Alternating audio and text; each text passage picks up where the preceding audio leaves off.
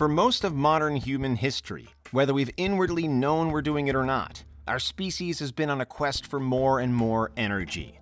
And over the years, centuries, and millennia, we've learned to harness it in many forms, including the first fires in prehistoric times, all powerful steam across the Industrial Revolution, more fossil fuels in the time since, and renewables heading into the modern age.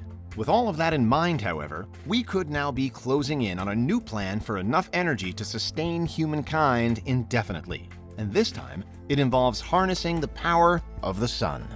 This is Unveiled, and today we're exploring the extraordinary breakthroughs science has made toward nuclear fusion technology. Do you need the big questions answered? Are you constantly curious? Then why not subscribe to Unveiled for more clips like this one, and ring the bell for more thought-provoking content.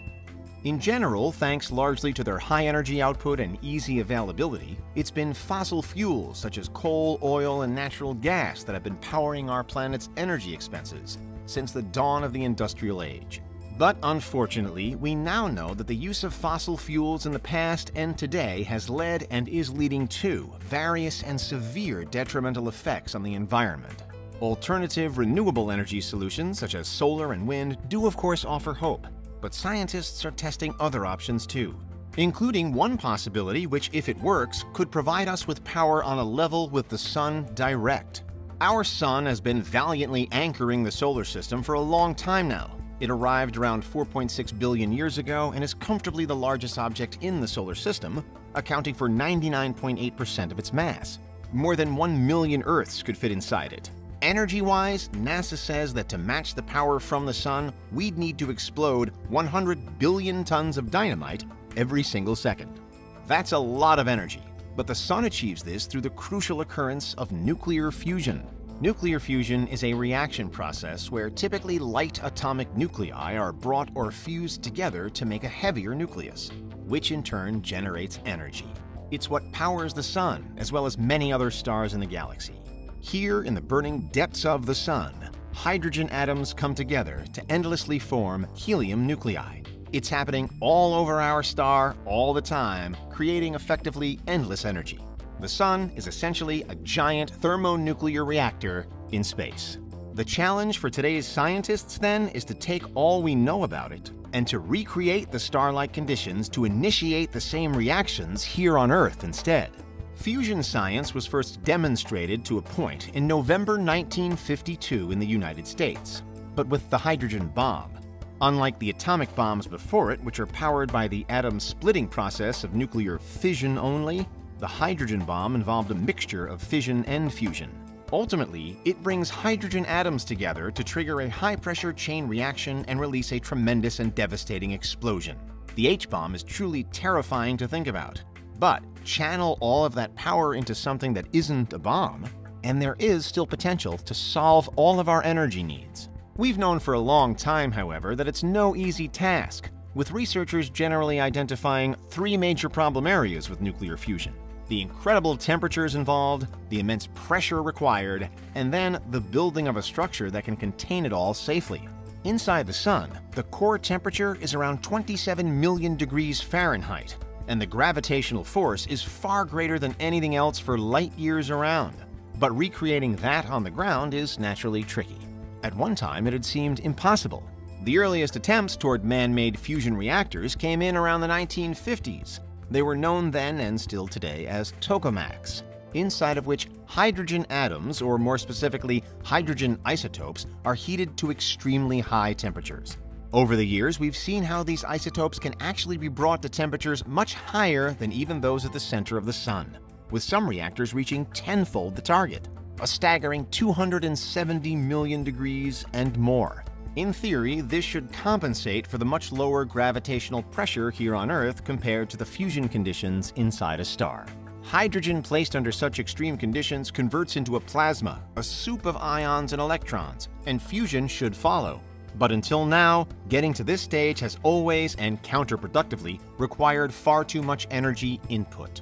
In fact, man-made fusion reactors have always needed more energy to run than they end up producing, which kind of defeats the point of them, no matter how impressive the tech they carry is. But in the year 2021, it appears that we could be about to finally turn the tide. In August, a team at Lawrence Livermore National Laboratory in the United States made headlines after taking a giant step closer to the world's first fusion reaction experiment to successfully reach ignition. That is, to achieve a reaction that does make more energy than it needs to run.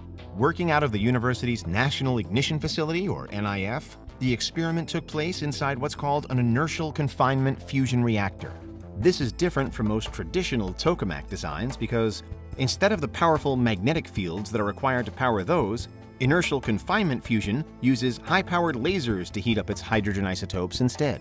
These lasers get beamed around a series of mirrors inside the reactor and are then focused onto a gold cylinder housing thermonuclear fuel, pellets of deuterium and tritium, both of which are hydrogen isotopes.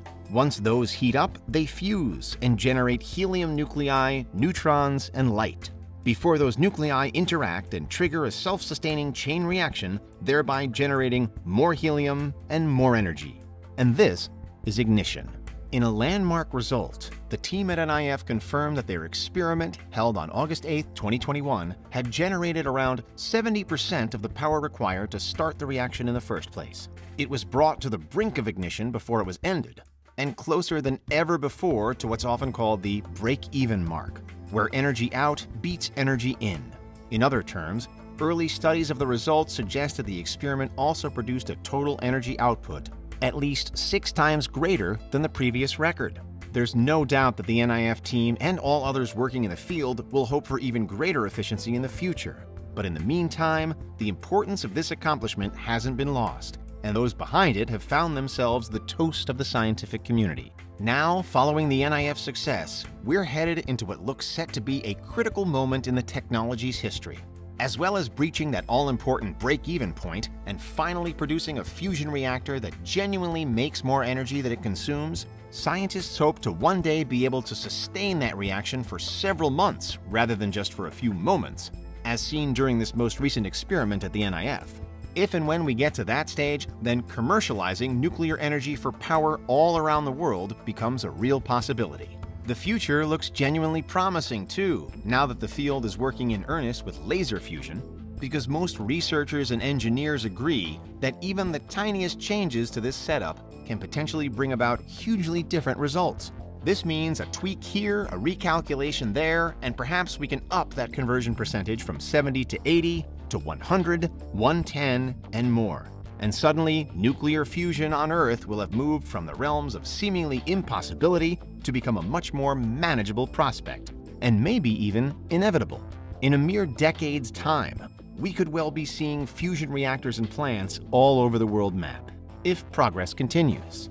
According to one Dr. Brian Appelbe of the Center for Inertial Fusion Studies at Imperial College London and reacting to the NIF results, quote, we have entered a regime we've previously never been in. This is uncharted territory in our understanding of plasma, end quote. And uncharted territory is perhaps the best phrase for it in general. We are now recreating, with ever-improving accuracy, the environment as seen in the core of the sun. But we're doing it down here, on our own planet, Earth. We're beginning to understand even the innermost secrets of the stars then and we're working out how to control them for our own needs. And that's why we're on the verge of a truly spectacular breakthrough with the potential to solve all of our energy concerns forever. What do you think? Is there anything we missed? Let us know in the comments. Check out these other clips from Unveiled, and make sure you subscribe and ring the bell for our latest content.